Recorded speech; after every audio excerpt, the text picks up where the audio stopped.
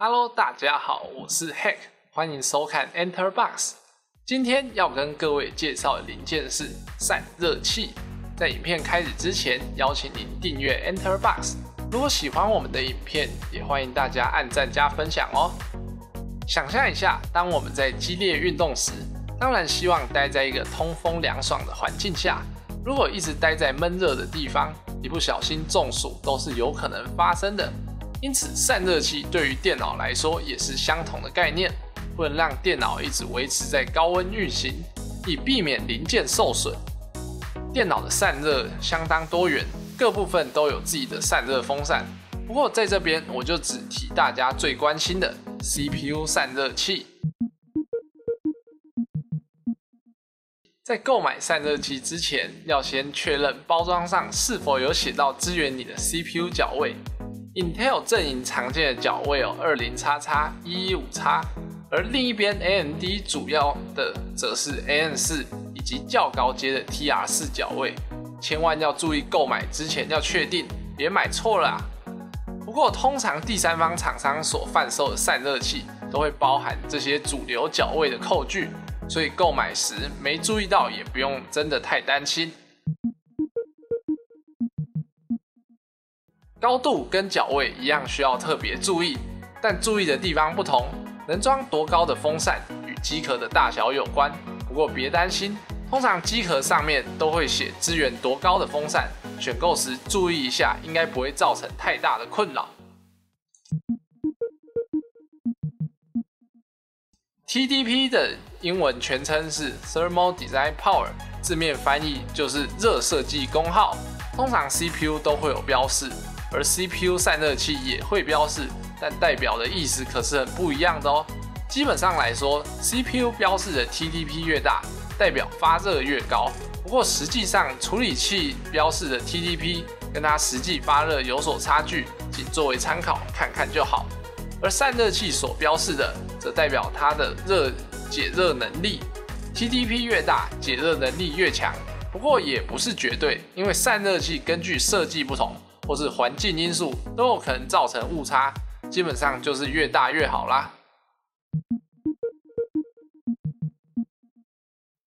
一般来说，有风扇的产品应该都会看到这三个英文字 RPM，它是 Revolution per Minute 的缩写，也就是每分钟的转速。相信大家应该对它也都不陌生。越高的转速就意味着它吹的风力越强，也就是说散热效果越好。但是相对的噪音就会更大。不过以上也并非绝对，不同的厂商有不同的叶片设计、马达技术等，所以噪音或是风力还是要实测之后才会了解。下吹式散热器的设计就是风吹的方向是与 CPU 呈垂直的。Intel 以及 AMD 的原厂风扇都是采用这种设计，通常会随附在他们大部分的产品中。仅有少数高端产品不会随附。下吹式散热器的优点就是高度较低，适用于大部分的机壳。那缺点则是散热能力通常相较其他类型的散热器表现起来没有那么出色。快瑞科技在众多老品牌中算是相对年轻的，但是他们凭借着自身的专利技术，在各方面的表现可是一点都不输给老厂商。C7 RGB 下垂式 CPU 散热器专为 ITX 机壳玩家而设计，轻薄的设计加上豪放不羁的 RGB 灯效，在平常零件较少选择的 ITX 机壳中瞬间成为亮点。透过独家的专利四向进气设计，就算整个机壳塞满满，也能善用到每一点珍贵的冷空气，为小机壳玩家带来更好的效能。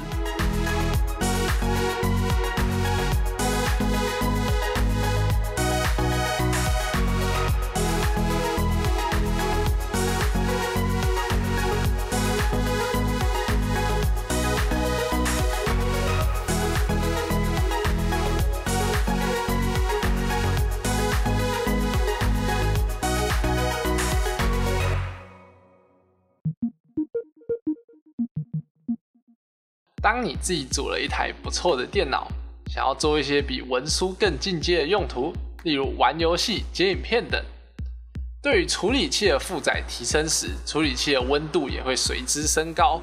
这时候散热器就扮演着很重要的角色啦。塔型散热器相对于下吹式散热器效果会好上许多，但它的高度通常也会高上很多。因此，买塔扇需要注意机壳的资源问题。通常塔扇都会标榜底部材质，或者是有几根导管，像是铜底、四导管之类的。基本上选购时拿两个比较，同样标示选数字大的准没错。利明科技为一间专门设计电脑散热器的厂商，二零零一年成立至今，为了 CPU 散热不遗余力。台湾很多常见的空冷或者是散热膏都出自他们家之手。Arken IBE 塔型散热器拥有旗舰级的八根烧结铜导管设计，然后双十四公分 PWM 控制风扇，随着温度随时改变转速，以及镜面铜底与全散热片镀镍抗氧化，TDP 更是高达逆天的三百二十瓦。完全不会输给高阶水冷，可以说是空冷玩家的好选择。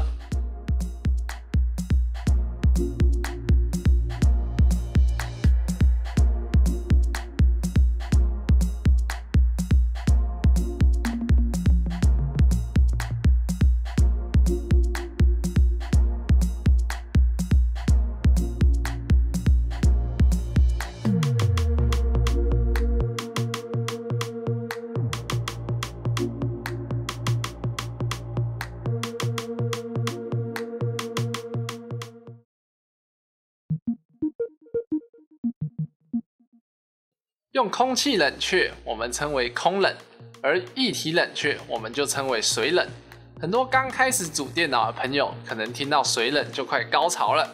其实先别着急，我们在电脑中最常见的风扇大小，简单来说为十二公分风扇。那一体式水冷常见的规格有十二、二四、三六公分，也就是一到三个风扇版本。十二公分水冷，我们其实可以把它当做塔扇的另一种形态。一方面散热能力差不多，一方面则是价格也差不多。不过通常会选择十二公分水冷的原因，可能大多是因为机箱高度的限制。处理器端水冷头通常都小小一块，主要散热风扇又可以装到别处，安装起来较为弹性。但是由于水冷散热在设计成本上还是较塔扇高了一点。所以，同样散热能能力的前提下，可能就会贵一点点。因此，机壳够大的话，还是以塔扇为主吧。不过，二四或是三六公分水冷可以说是不同档次，在散热效果上，通常相较于十二公分水冷或是塔扇好的许多，足以应付高阶处理器在高负荷下稳定使用。不过要注意的就是，水冷的价差算是蛮大的。然后各家也有外观炫炮的款式，依照自己的需求购买就行了。Cooler Master 就如同它的英文名字一样，冷却大师。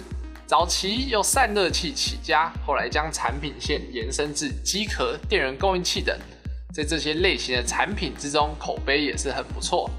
Master Liquid NL 二四零 RGB V2 搭载两颗气流平衡扇以及全彩的 RGB 灯效。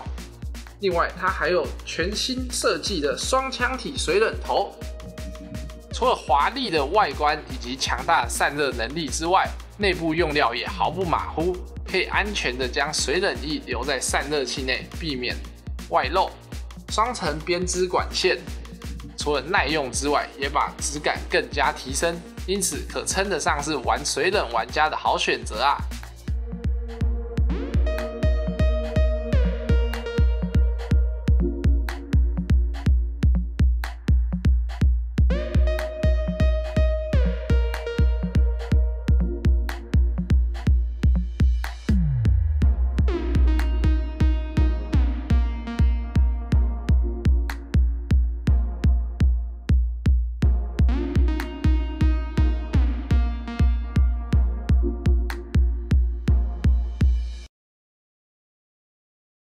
我们今天对散热器的介绍就到这边，记得订阅 EnterBox 的频道，有任何问题也可以在下面留言告诉我们。